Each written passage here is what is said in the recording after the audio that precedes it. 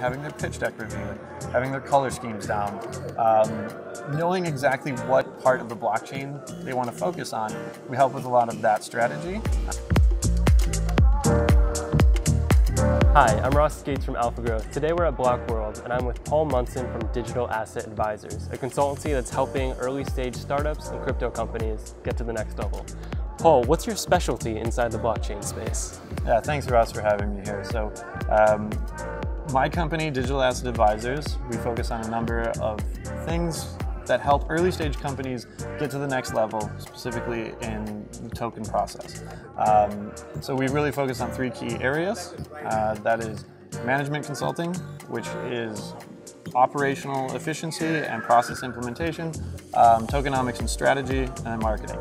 Um, some of the key industries that we focus on, we really started making our name for us in real estate and traditional investments. Uh, so we work with a company called Slice.market, uh, which will be the first real estate company in blockchain to launch multiple asset tokenizations by the end of the year. Gotcha. Tell me more about your background and what gives you the capability to do this better than the other consultancies that are trying to compete with you. Yeah, absolutely. One of the things that the blockchain space um, has a number of individuals that come from a variety of different backgrounds, but doesn't have is people like myself that come from an investment banking and private equity background. So my particular background was in real estate investment banking, followed up by general private Which equity. makes Slice perfect. Exactly, which allowed me to parlay into Slice really uh, effectively. And then now we've transitioned into a number of different investment strategies. Gotcha. So, And then you, laid out three things that you do. Mm-hmm. One of them is marketing. So, as a consultancy, what type of marketing are you doing for these blockchain companies? yeah. yeah, so we always like to differentiate marketing for the blockchain process and marketing for the business process as two distinct avenues. Uh, we focus particularly on the blockchain aspect of that. Uh, for example, one of our clients has an audience of 30 million users. Jeez. Uh, that yeah, it's really. they don't even like need marketing. Well, I mean, a little bit. but- Correct. They don't need any marketing that we can really add a significant amount of value towards. But uh, what they do need help with is the blockchain component of that. Because when you market towards a blockchain community, get user engagement, um, get do investor relations, things of that nature, it's a totally different animal than a lot of these companies. So you're taking their existing 30 million users and finding the portion of them that are interested in blockchain, or you're sending out messaging to other users to get them interested in blockchain? How does that work? Yeah, it it can really be a number of things, um, but it helps when you have 30 million users. It uh, always does. to, yeah, to come back. So combing through a lot of that data is a very essential thing that uh, we have to do in this scenario.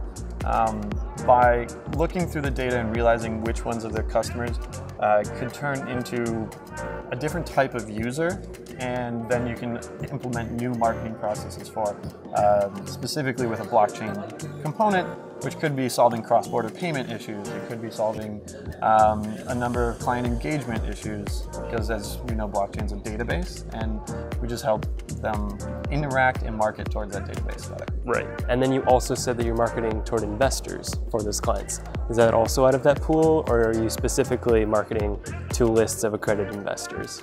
Yeah, well, when it comes to marketing towards investors, there's a big it's you have to draw a very fine line between what you can and cannot do. So our company, we are not a broker dealer, and we don't behave like a broker dealer. Gotcha. So we're not taking any success fees of any of that nature.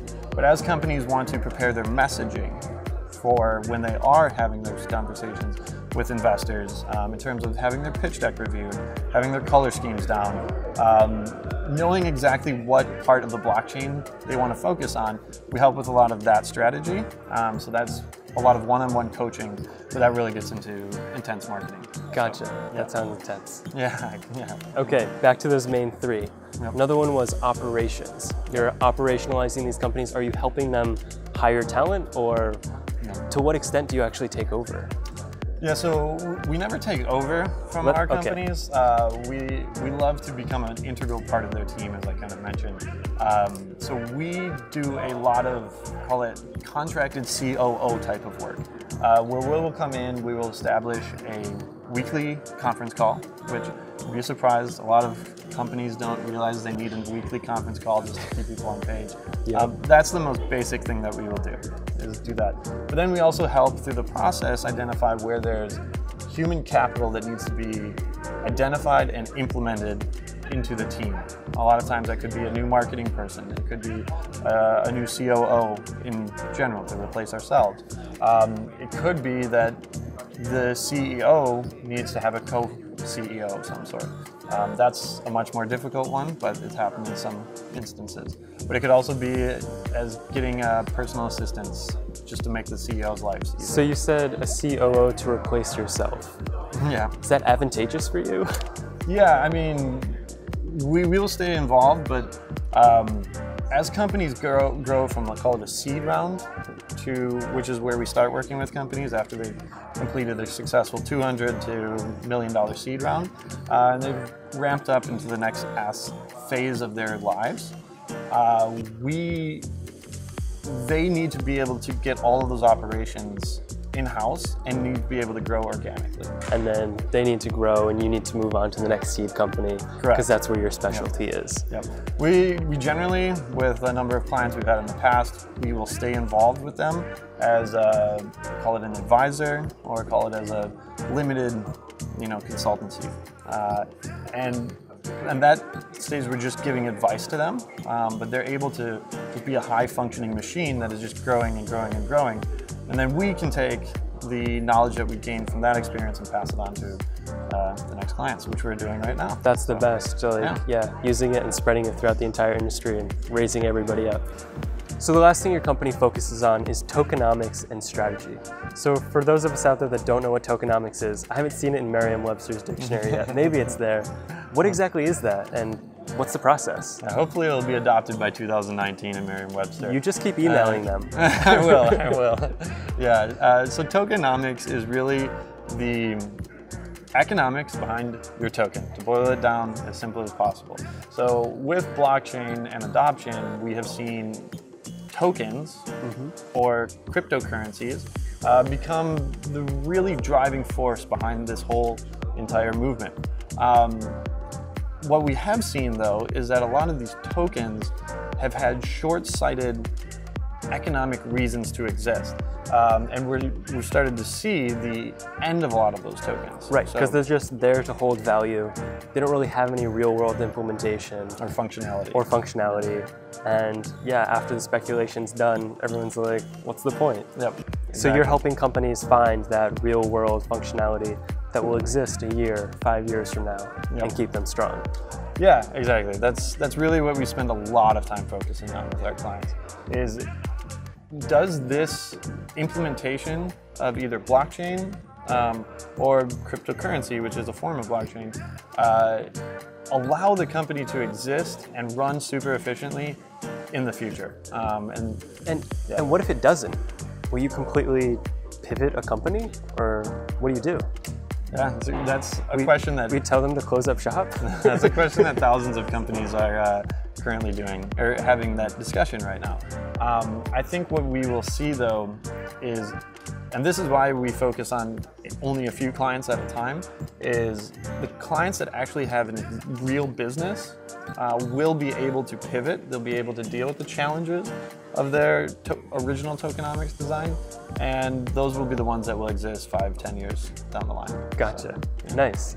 So then they want to scale, they want to exist, you want to do the same thing. What are your plans? What's going to take you to the next level? Yeah, it's a good question. So, um, as I mentioned before, we are very specific and we work with an, a few early stage companies, um, and we don't try to overwhelm ourselves so we can give each one the attention they deserve. Yep. But as we grow and we take on more clients, we are actively looking for high functioning management consultants that can come in um, and add a significant amount of value. Um, you know, as our business grows and we get more and more exposure to this, and the industry matures, uh, because we're seeing a lot of really high quality companies, uh, it provides a lot of opportunity. I won't say exactly what, but uh, you know, there's always the potential to raise a fund, or there's always the potential to Gotcha. you know take over companies or help launch other companies. And So you're getting your net out there to the companies that you could potentially raise a fund around. Maybe don't say that. Yeah. And then you're also hiring management consultants to grow your team and allow you to offer the same level of detail and Exactly. you know, work to a much larger group of companies. Correct. You're basically just you're building up your consultancy and Yeah. expanding your network. Yeah, we're trying to take a, a slightly different approach that we, with the clients we work with, we want to be along, around for a very long time. Um, so we're trying to grow organically. We're trying to grow smartly. Um, we're not violating laws. We, That's always good. we love security tokens. We're big, big proponents of security tokens, um, and just growing organically and smartly so we can retain, you know, the vision of the company we want.